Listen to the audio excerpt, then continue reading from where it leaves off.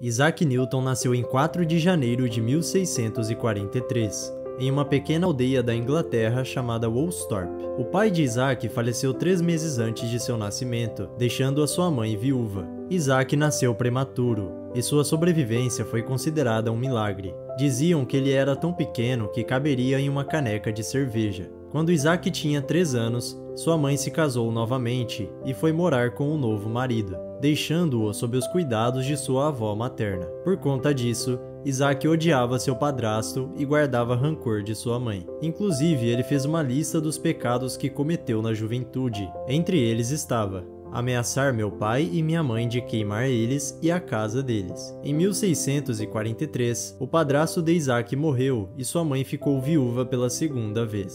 Em 1655, aos 12 anos, começou a estudar na The King's School, em Grantham, uma instituição de ensino renomada, focada principalmente no estudo do latim e do grego. Newton era um aluno mediano que inicialmente não se destacava, no entanto, já demonstrava uma inclinação para a inovação construindo modelos de moinhos de vento e até mesmo um relógio solar. Durante seu tempo em Grantham, ele também desenvolveu um interesse por matemática e astronomia, embora esses assuntos não fossem o foco principal de sua educação na época. Ainda hoje, nessa escola, é possível ver a assinatura feita pelo próprio Newton no parapeito de uma janela. Em 1659, agora com 16 anos, ele foi retirado da escola e teve que retornar para sua cidade natal. Isso aconteceu porque sua mãe queria que ele administrasse a fazenda da família, um trabalho que ele simplesmente detestava. O tio dele reconheceu o seu potencial e o encorajou a se preparar para a universidade. Então, em 1660, Newton retornou à escola, mostrando um progresso notável como aluno. No ano seguinte, foi aceito no Trinity College da Universidade de Cambridge.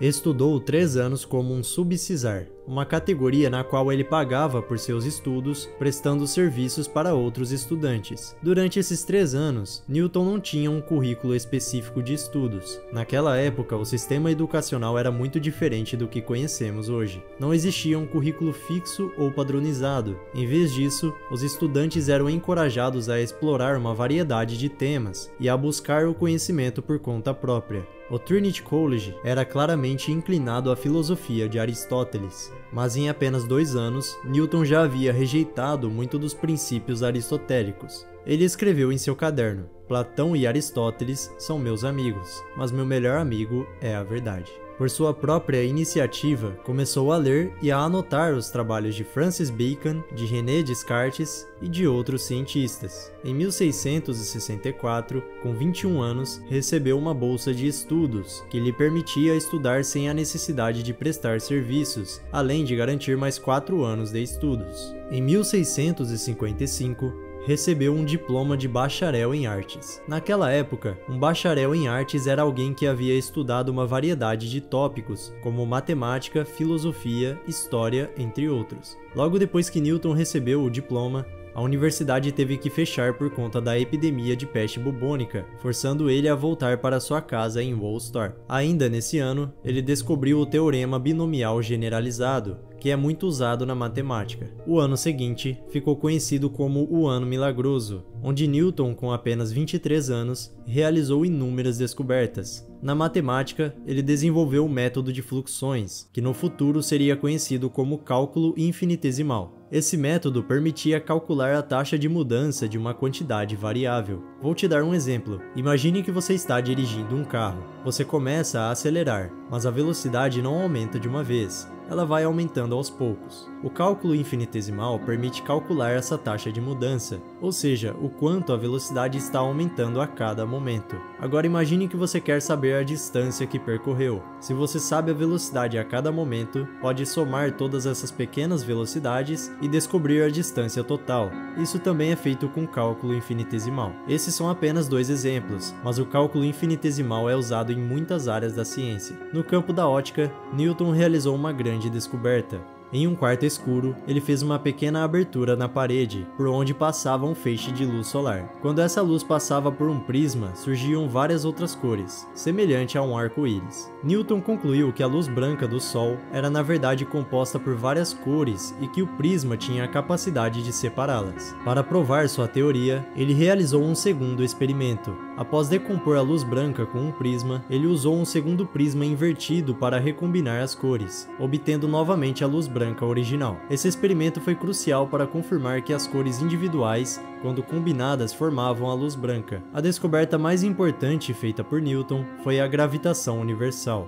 A lei da gravitação universal descreve a força de atração entre dois objetos devido à sua massa. Em termos simples, essa lei afirma que quanto maior a massa dos objetos e quanto mais próximos estiverem um do outro, maior será a força de atração entre eles. Essa explicação ajuda a entender por que os planetas orbitam ao redor do Sol e por que a Lua orbita ao redor da Terra. Conta a história que ele teria sido inspirado a formular a lei da gravitação após ser atingido por uma maçã na cabeça. Provavelmente a maçã não caiu na cabeça dele, mas o próprio Newton costumava dizer que se inspirou a formular sua teoria ao observar a queda de uma maçã. Newton fez tudo isso em um único ano. No entanto, ele não divulgou suas descobertas por um bom tempo, com medo de alguém roubar ou criticar suas ideias. Em 1667, quando a faculdade voltou a funcionar, ele foi eleito membro do Trinity College, obtendo uma posição de destaque na comunidade acadêmica. Em 1668, usando seu conhecimento sobre a luz, ele observou que todos os telescópios refratores sofriam com a dispersão da luz, conhecida como aberração cromática. Esse efeito cria um borrão colorido ao redor dos objetos, o que atrapalha as observações dos astrônomos. Para resolver esse problema, Newton construiu um telescópio usando espelhos ao invés de lentes. O primeiro protótipo tinha apenas 8 centímetros de comprimento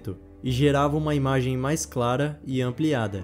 Esse se tornou o primeiro telescópio do tipo refletor, hoje conhecido como telescópio newtoniano. Em 1669, Isaac Barrow renunciou ao cargo de professor lucasiano de matemática em favor de Newton. Esse cargo proporcionou a Newton um salário fixo, prestígio e muitas oportunidades. Em 1671, agora com 28 anos, Newton finalmente concluiu o seu trabalho sobre o método de fluxões, que falamos anteriormente. No entanto, esse trabalho só foi publicado em 1736, nove anos depois da morte de Newton. Em 1672, tornou-se membro da Sociedade Real, graças à invenção do telescópio refletor e de suas descobertas sobre a luz. O interesse da Sociedade Real encorajou Newton a publicar suas anotações sobre ótica, que mais tarde seriam expandidas para a obra Optics. No entanto, quando ele publicou suas anotações, foi criticado pelo físico Robert Hooke. Newton ficou tão ofendido que se retirou do debate público por um bom tempo e só voltou a publicar seus trabalhos de ótica em 1704, após a morte de Hooke. Em 1675,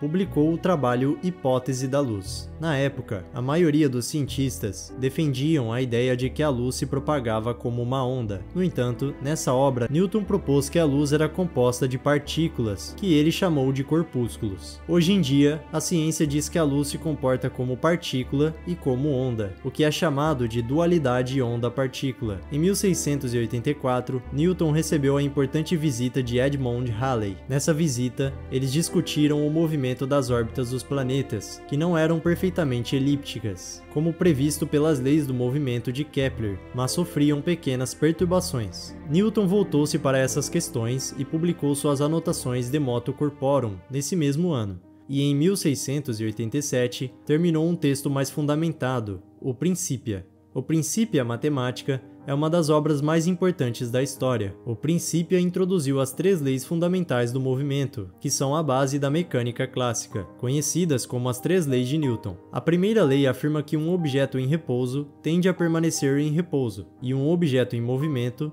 tende a continuar em movimento com a mesma velocidade e na mesma direção, a menos que seja atuado por uma força externa. Por exemplo, uma bola de futebol ficará parada no campo até que um jogador a chute. Da mesma forma, a bola continuará rolando após o chute, até que a fricção com o gramado e a resistência do ar a façam parar. A segunda lei afirma que a força resultante aplicada a um objeto é igual à massa do objeto multiplicada pela sua aceleração. Imagine que você está empurrando um carrinho de compras vazio com pouca massa e um carrinho de compras cheio com muita massa. Se você aplicar a mesma quantidade de força para empurrar ambos os carrinhos, você notará que o carrinho vazio será mais fácil de mover, terá uma maior aceleração em comparação com o carrinho cheio. Isso ocorre porque, de acordo com a segunda lei de Newton, a aceleração é diretamente proporcional à força aplicada e inversamente proporcional à massa do objeto. A terceira lei afirma que para toda ação há sempre uma reação oposta e de igual intensidade. Por exemplo, quando um foguete queima seu combustível, ele libera gases quentes e de alta pressão na parte de trás do foguete. Essa expulsão dos gases para trás exerce uma força sobre o foguete, impulsionando-o para frente. No princípio matemática, Newton também apresentou e formalizou a sua lei da gravitação universal, que falamos anteriormente. Além disso, também desenvolveu as leis básicas do movimento em fluidos, contribuindo para o estudo da hidrodinâmica. Entre 1689 e 1701, Newton foi membro do parlamento da Inglaterra, mas segundo alguns relatos, a única coisa que ele fez foi reclamar de uma janela aberta durante o inverno. Em 1693, agora com 50 anos, ele enfrentou um período difícil, no qual lutou contra a depressão, insônia e aparentemente sofreu um colapso nervoso. Em 1696, foi nomeado guardião da Casa da Moeda. Três anos depois, ele foi promovido a mestre da Casa da Moeda, cargo que ocupou até a sua morte. Durante esse tempo, ele desempenhou um papel importante na reforma do sistema monetário britânico e se envolveu diretamente na luta contra a falsificação de dinheiro, conduzindo entrevistas com criminosos e informantes. Em 1699, membros da Sociedade Real acusaram o cientista alemão Gottfried Wilhelm Leibniz de plagiar o trabalho de Newton sobre o cálculo infinitesimal. Isso aconteceu porque tanto Newton quanto Leibniz desenvolveram os fundamentos do cálculo de forma independente. Newton começou a formular suas ideias no final dos anos 1660, mas não as publicou imediatamente. Leibniz começou a trabalhar no cálculo por volta de 1674 e publicou seu primeiro artigo em 1684 antes de Newton publicar o seu trabalho. Isso levou a uma acirrada disputa sobre quem deveria receber o crédito pela invenção. A controvérsia se intensificou porque os métodos de Leibniz foram amplamente adotados na Europa, enquanto a comunidade científica britânica apoiava Newton. A disputa não foi apenas científica, mas também política, refletindo as tensões da época entre Inglaterra e o continente europeu. Apesar da rivalidade, hoje é reconhecido que ambos contribuíram para o desenvolvimento do cálculo. Em 1704, Isaac publica a obra Optics, onde ele reformula e publica oficialmente suas descobertas sobre a luz. Em 1705, a rainha Anne da Inglaterra deu a Newton o título de cavaleiro durante uma visita real ao Trinity College. Em 1707, ele publica a obra Arithmetica Universalis, onde apresenta inovações importantes, como a introdução de álgebra simbólica, a teoria das séries infinitas e métodos para a resolução de equações algébricas. Isaac Newton morreu dormindo em Londres em 20 de março de 1727 e seu corpo foi enterrado na abadia de Westminster. Isaac nunca se casou e muitos acreditam que ele morreu virgem. A sua herança acabou ficando para seus parentes mais próximos. Após sua morte, o cabelo dele foi examinado e descobriu-se que continha mercúrio, provavelmente resultante de suas atividades alquímicas. Newton passou uma boa parte de sua vida envolvido com a alquimia e procurando pela pedra filosofal. Das cerca de 10 milhões de palavras escritas em seus trabalhos, cerca de 1 milhão é sobre alquimia. Além da alquimia, Newton esteve muito envolvido com a teologia. Ele dedicou tempo significativo ao estudo da Bíblia e dos pais da igreja primitiva, escrevendo críticas e interpretando profecias. Está aparecendo aí na tela as obras, descobertas e invenções publicadas antes e depois da morte de Newton. Então é isso, pessoal. Eu sinceramente espero que vocês tenham gostado desse vídeo. Se você gostou, inscreva-se em nosso canal e, se possível, torne-se um membro. Isso vai me ajudar demais. Obrigado por ter assistido até aqui e até a próxima.